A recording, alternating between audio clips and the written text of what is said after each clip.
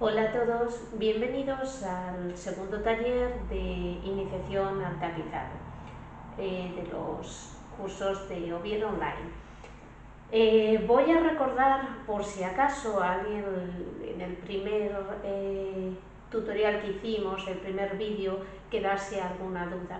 Voy a distinguir muy bien en tapizado de iniciación lo que son las partes que vamos a tratar hay gente que va a usar una, hay gente que va a usar otra, pero generalmente el tapizado lo vamos a usar todos. Tapizado, me refiero a la parte donde nos vamos a sentar, ya sea un taburete, una silla, un escabel, ¿vale? De momento yo os dije eh, en el primer taller que quería una cosa sencillita para que aprendieras realmente a, a hacer la tarea. Yo este lo voy a hacer para que aprendáis a lo que es destapizar, ¿vale? Porque es muy importante. Y a lo último de este taller empezaré a hacerlo para que luego vosotros sigáis yendo. Sí que es verdad que os voy a decir, yo voy a destapizar este que tiene grapas y demás, pero hay otros elementos que vosotros uséis que probablemente eh, se destapicen de otra manera. Entonces, si no podéis hacerlo con la técnica que yo os voy a decir a lo último, eh, ya en el, en el taller virtual de Zoom, en esa horita podremos hablar de, la pieza que ya habéis elegido, que más o menos creo que ya tenéis ideas, y si, se destapiza de esta manera o de otra. Por eso no os preocupéis. Bueno, pues vamos a dar comienzo eh, con algo fundamental. Os decía que, podemos dividirlo en dos partes. La primera parte, eh, o tres mejor dicho, la primera parte, si la pieza la tenéis eh, de casa y queréis transformarla, sería el destapizado. Bien, que sería destapizar es quitar las sucesivas capas y goma espuma que tenemos en, nuestro, en, en nuestra silla, taburete, como os decía, escabel. Vamos a desmontar. Destapizar es desmontar toda la tarea, dejarla simple y llanamente con la estructura base.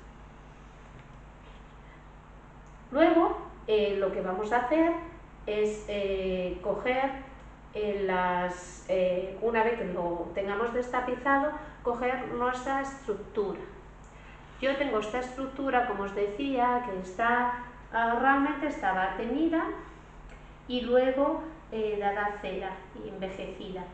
Yo lo que he hecho es limpiar la cera, aunque realmente ya estaba bastante limpia, con una composición de alcohol, eh, agua ras, eh, alcohol, agua ras, se me olvidó. No, mira, es muy fácil, nada, simplemente con un poco de alcohol o un poco de agua ras os valdría. Cuando las piezas son un poco, un poco más, em, más sucias, bueno, pues cogéis una lana de acero finita o un estropajo desgastado de estos de de, fregar las, cazuelas y lo limpiaríamos un poco. Eh, si la superficie está bien una vez limpia, eh, lo que vamos a hacer es eh, lijar un poquitín con una lija de taco para, para que la superficie se nos adhiera bien. hay diferentes pinturas en el mercado, que me lo comentabais. bueno, pues sí, la verdad es que ¿cuál utilizo yo? Pues depende para lo que quiera eh, usarla, eh, lo que es el, escabel en este caso. Os comento, por ejemplo, eh, podéis, podéis usar una pintura que tengáis en casa y que es una pintura de fachadas, ¿vale? O bien una pintura acrílica, ¿vale? Estas son las más sencillitas. Pero para estas, o bien la superficie está totalmente limpia o vais a tener que dar una imprimación, que es una pintura que lo que hace es adherirse a la base inicial y luego cuando esté totalmente seca podremos pintar. Si no, generalmente, si pintamos con estas pinturas y cualquier golpe que le demos, eh, se va a saltar la pintura. De ahí que necesitemos la imprimación. Entonces, estas dos pinturas que os digo yo son las que necesitan imprimación. La imprimación Ya os dije, bueno, a mí es la que más me gusta, pero es que mm, me da igual la que tengáis en casa. Esta es blanca y es imprimación todoterreno, base, base al agua.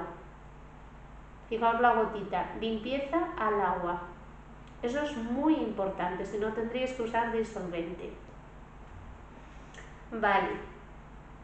Entonces, daríais esa imprimación y pintaríais con estas pinturitas. Y luego tendréis que dar un barniz, con lo cual tres elementos que tenéis que usar. Otra pintura que podéis utilizar es esta, que es un esmalte acrílico, es decir, al agua, limpieza al agua, y el acabado da igual, porque lo hay mate, satinado o brillo, dependiendo de las marcas. Me da igual, esta es Bruguer, pero da igual Titan, Quilate, la que queráis o encontréis en el mercado. Con un pote pequeñito, así para esta superficie, tenéis más que suficiente. El color, el que queráis, pero sí que es importante, si vais a dar un color azul, pues la tapicería tendrá que ir en esa gama, o grises o incluso rosados, eso es fundamental. Esta no necesitaría imprimación, pero no obstante lijaríais un poco la superficie que ya tendríais em, anteriormente, pues que, no sea nueva, ¿vale? Y la lijaríais un poquito y luego daréis dos manos de pintura. Entre mano y mano, por favor, seguid las recomendaciones del fabricante pero yo doy la primera mano, atacto, a lo mejor en una hora está, pero tenéis que dejarla más tiempo, porque parece que no, pero no seco del todo. También podéis pintar con pinturas en spray. Lo mismo, sinceramente me da igual la marca. Si las encontráis mejor al, agua que al disolvente, más que nada por el olor y porque lo vais a hacer en casa, eh, pues mejor. Si no, no pasa nada. Estos botes, ¿veis el ruido? Bueno, pues lo que hay que hacer es que tiene una bolita y hay que agitar por lo menos un minuto. Eh, también os indica perfectamente cómo hay que hacerlo, pero mi consejo es que si vais a tener estas patas, Pongáis todo lleno de periódicos, la superficie donde vayáis a colocarlo, y a una distancia de unos 15 centímetros empecéis a vaporizar con esto una vez batido. Y haréis este sentido. Vertical, moviéndolo alrededor de la pieza, y horizontal.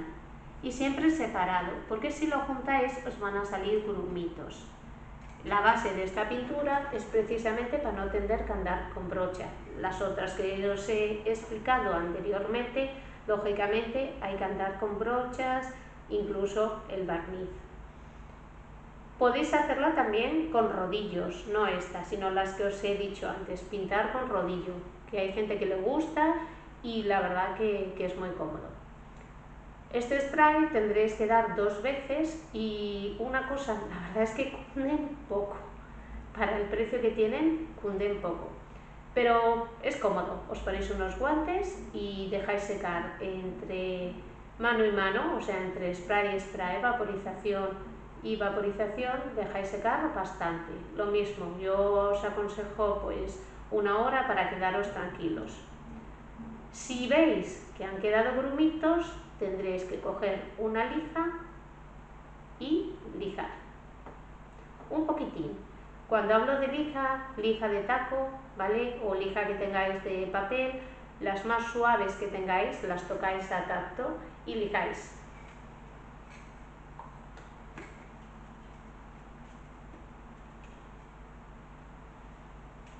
Cuando una superficie estaba, está sucia, sucia, nosotros utilizamos un truquillo que es mezclar tres componentes, que es amoníaco, aguarrás y alcohol. Estos tres, más o menos en la misma proporción y con un, un, estropajo de, desgastado de lana de acero limpiaréis la superficie, porque a lo mejor alguno tenéis algún escabel antiguo, algún taburete de cocina que puede tener algo de grasa, ¿vale? Y entonces lo limpiaréis así. Una vez limpio, lo mismo, el mismo paso. Fijamos un poquitín si es necesario y si no, imprimamos. ¿Vale? Que espero que os haya quedado claro el tema de pinturas. Y por último, que lo dije en el primer taller, yo voy a pintar mi escabel con pintura de tiza.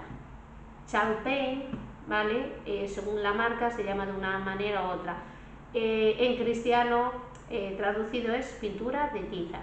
Ya os dije que la pintura de tiza realmente está hecha con yeso, que es lo que va a demostrar la adherencia a la pintura y posteriormente como si fuese nuestra imprimación. Y cola blanca y la pintura que nosotros eh, hayamos mezclado. La Champagne eh, ahora aparecen con tonos intensos, pero realmente empezó siendo tonos pálidos, porque daba ese estilo vintage que se quería ofrecer a las piezas. El formato lo podéis encontrar también en spray, lo podéis encontrar en bote grande, bote pequeño. Según cada marca, cada fabricante os lo van a mostrar de una manera u otra. Hay otra marca que tiene botes pequeños, que es la marca Cadence, C-A-D-N-C-E, que también es una pintura eh, de tiza, pero da un acabado más fino. ¿vale? La pintura de tiza, la peculiaridad que tiene es que da esa sensación de la tiza, esa rugosidad, que si lijamos un poquitín se va, pero bueno, el aspecto es el que, el que ofrece. Y, bueno, eh, a mí me gusta por un sentido. Yo cada pintura lo utilizo para cada elemento. Y en este caso yo lo que quiero, la tengo limpia, las patas, lo que quiero es eh, dar un aspecto envejecido y vintage, pero no antiguo, sino moderno, de desgaste, lo que llamamos. Entonces, al desgastar, que ya lo veréis con una lana de acero o un, o eh, o por ejemplo con una lana de acero o con una lija de taco eh, muy desgastada, lo que voy a hacer es dar esta pintura en dos manos, la primera mano la voy a dejar secar 24 horas y la siguiente mano la puedo dejar, eh, la puedo pintar y al tacto, a la hora, la tendremos ya seca. Una vez que tenga esas dos manos dadas, lo que voy a hacer es lijar y voy a desgastar, a ver si se ve, por las zonas que propiamente llamamos de desgaste. Es decir, esto. ¿Para qué? Para que quede este tono que me va a pegar mucho con todo lo que voy a utilizar, tapicería, tela y demás. ¿De acuerdo? Por eso utilizo esta de tiza, pero no necesariamente tiene que ser esta la que haya que utilizar. Cada uno vais a elegir la que necesitéis. En, el Zoom o videoconferencia no os preocupéis porque volveremos a repasar estos temas. Bueno, ¿qué más necesitáis para tapizado? Y esto va a ser por encima, porque esto requiere una clase entera y según la pieza de cada uno. Os decía, goma espuma, que es lo que está aquí debajo. Plancha de goma espuma si queremos redondear, para que no queden estas zonas, ¿vale? Estos cortes, que a veces cortamos mal. Por cierto, cortaremos con un cuchillo jamonero un cuchillo bien afilado. Y esto blanquecino que veis aquí es la plancha de miraguano o guata o como lo llaméis. Esto es el redondeo para que quede muchito. A veces no es necesario, pero yo lo utilizo indistintamente o esto que es la goma espuma, el miraguano o esta plancha finina que es de goma espuma. Bien, eh, ¿qué más material vais a necesitar? Y lo vamos haciendo poco a poco. Pues vais a necesitar para que quede fija la, tela, si fuese necesario, spray adhesivo. Ya os dije, esto lo compro yo en, grandes almacenes. Es un poco más caro, pues que os puede salir pues, 8 o 10 euros, depende. Y yo lo uso, por ejemplo, pues para sofás, para que no se me mueva la tela. Podéis usar cola blanca, o con la de contacto, pero eso ya os lo digo es un poco más, más complicado porque son, eh, no son colas rápidas de, de secado rápido, entonces os pueden dar problemas. Y una cosa fundamental para mí, que es la pistola de cola caliente.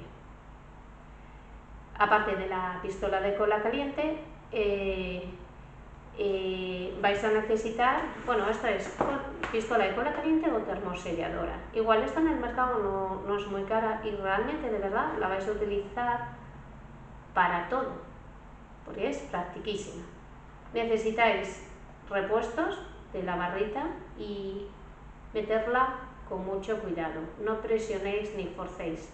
O entra en la barrita o no entra. Apretando por aquí, la barra va entrando. Esto es un soporte para tenerla apoyada cuando la encendamos. Ojo, que calienta mucho, no muchísimo. Puede hacer llagas en los dedos, así que por favor no se os ocurra tocar esta zona. La enchufaríamos y nos serviría realmente para todo, hasta para el acabado final, la, pegar nuestra pasamanería. Nos serviría para pegar nuestra tela, nos serviría para pegar la goma espuma a la superficie que tengamos. Realmente es lo que os digo, es, un chollo. Y hay que dejar que esté muy caliente y cuando empiece ya a salir poner por favor una tapa aquí metálica para que no os queme la superficie o, se os estropee. Y luego la cogemos, metemos esto para abajo y vamos apretando. Es muy importante cuando, eh, cuando peguemos la goma espuma echar unos grandes pegotes porque esto seca también muy rápido. Entonces una vez que seca, por mucho que contactes, no va a pegar. ¿De acuerdo? ¿Qué vamos a necesitar más? Pues unas tijeras normales, Acordaos que lo dije en el primero, que no lo voy a sacar ahora, una cinta métrica, nuestra grapadora fundamental, que ahora os la voy a traer, y unas tijeritas, que yo por ejemplo cojo estas, que son de picos, ¿por qué? Porque estas no me deshilachan la tela a la hora de cortar, pero vosotros podéis elegir la que queráis. Eh, yo esta la he comprado en IKEA porque he mirado diferentes tiendas y la verdad que es la que me da mejor resultado. Y no, no se engancha, corta bastante bien. Eh, bueno, eh, ¿qué más? Necesitamos también un cúter o un cuchillo para cortar nuestra goma espuma cuando no podamos cortarla con las tijeras. Necesitaremos también que en casa seguro que tenéis telas de sábanas, no las tiréis, sobre todo si son claritas, porque nos van a servir para poner debajo una tela secundaria que llamamos eh, o muletón, pero no vais a comprar un muletón, entonces esta tela blanca, ¿por qué? Porque yo, por ejemplo, cuando luego quito la tela o voy a tapizar, esto ya me queda uniforme. Si no pongo esta tela blanca, o bien se me transparenta la goma espuma, o bien se me sale el relleno.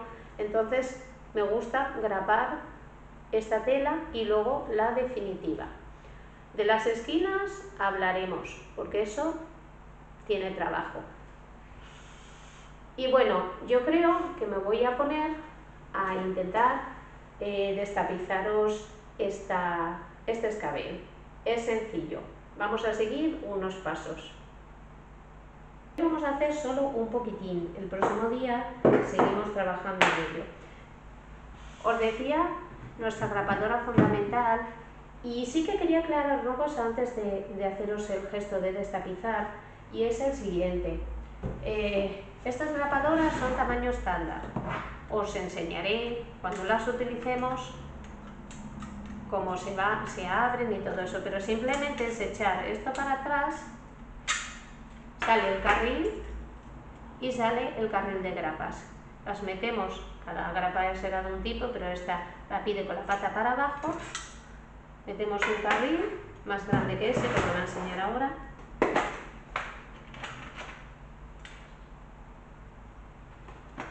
¿vale? Y deciros una cosa, este tamaño es estándar para, no para todos, pero para este tipo de grapadora. Lo que va a cambiar, yo os voy a pedir que cambie, son las patas.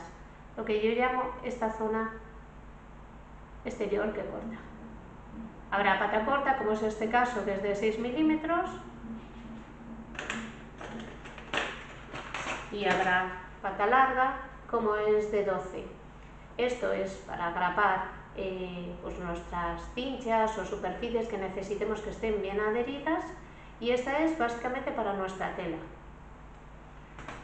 Las encontráis en ferreterías perfectamente. El color os da igual, ¿eh? o plata o cobre, da igual, eso es según el fabricante. Bueno, eh, os dije también que necesitábamos un martillo, ¿vale? Las barras de silicona que las dejo por ahí, o las de cola caliente, y vamos a andar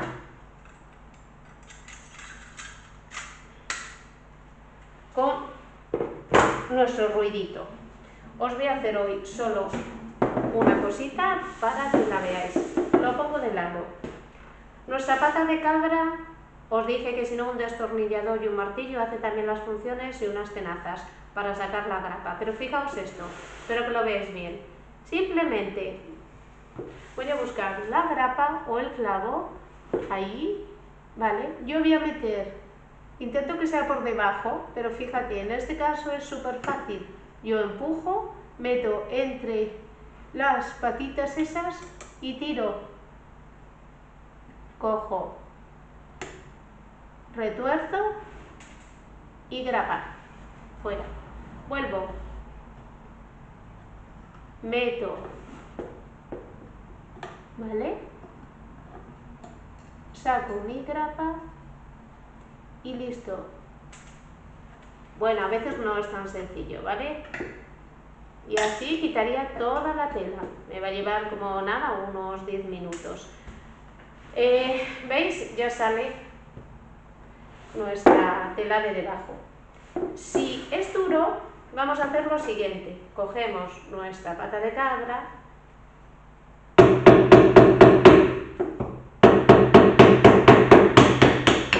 sujetamos nuestra pieza y hacemos presión. Acordaos, entre las dos patas o en medio el clavo, lo que es la cabeza. Una vez que hemos dado golpes y ojo, tened cuidado de no deteriorar la base, empujaríamos hacia arriba y sacaríamos nuestra grapa o nuestro clavo. Y así hasta el final. Bien, yo creo que con este ejemplo vais a seguir vosotros paso a paso y en eh, la videoconferencia que hagamos en el Zoom me iréis diciendo vuestros trabajos y yo os voy comentando de qué manera tendréis que desgrapar. Bueno, pues espero que os haya gustado este tutorial y nos vemos el próximo día con un taller, con el tercer taller, que empezaremos ya a practicar un poquitín eh, nuestras pinturitas y probablemente seguir quitando nuestra goma espuma. Pues un saludo a todos.